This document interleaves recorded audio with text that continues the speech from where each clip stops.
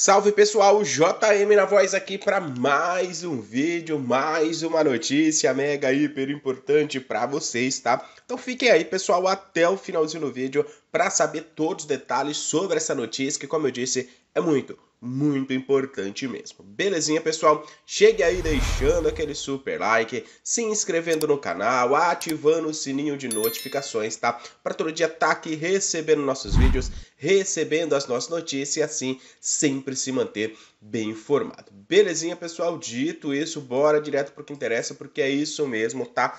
O Flamengo entrou em contato com o Neymar Júnior. Isso mesmo. Então, bora falar para vocês o que vem acontecendo com o Neymar após a eliminação precoce do Paris Saint-Germain na Liga dos Campeões. Após a eliminação, pessoal, o Neymar foi bastante criticado por todo mundo na França, meios de comunicação, é, os jornais e tudo mais, né? Torcida e principalmente pelo dono o Emir do Qatar, que é o dono do Paris Saint-Germain, tem muita grana, ele quer a rescisão contratual com o Neymar. Isso mesmo. O Neymar tem contrato até 2026 com o Paris Saint-Germain, mas o dono do Paris Saint-Germain não quer nem saber. Quer a rescisão contratual com o Neymar. Isso mesmo. Ou seja, acontecendo essa rescisão contratual, o Neymar fica livre no mercado e pode ir gratuitamente para qualquer outra equipe do futebol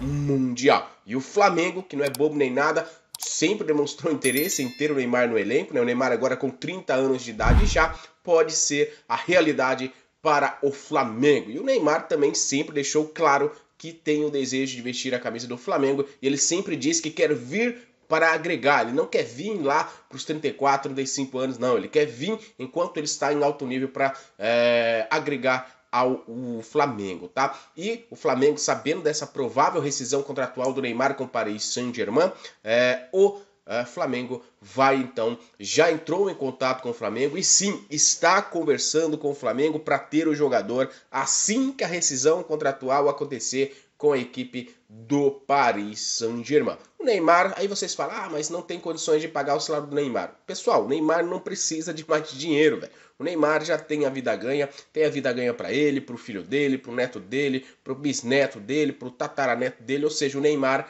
não precisa mais de dinheiro ele vem aqui então é, retornar ao futebol brasileiro para jogar mesmo por amor ao esporte que ele tem, é, porque ele gosta de jogar futebol e vai estar perto é, da sua torcida, perto aí dos que mais querem ele, tá? E então o Flamengo vai, obviamente, pagar um salário alto, cerca de um milhão e meio, quem sabe até dois milhões de reais por mês para o Neymar, né? A, a, lógico que não chega nem perto do que ele ganha no Paris Saint-Germain, mas é isso aí, a realidade do futebol brasileiro, tá bom? Então, bora esperar um pouco mais as conversas avançarem e eu vou continuar, obviamente, cobrindo tudo isso aqui para vocês, porque é notícia sensacional, beleza? Então, resumo, a notícia é essa, pessoal. Deixa aquele super like, se inscreve no canal, ativa o sininho de notificações, beleza? Um forte abraço, até a próxima notícia!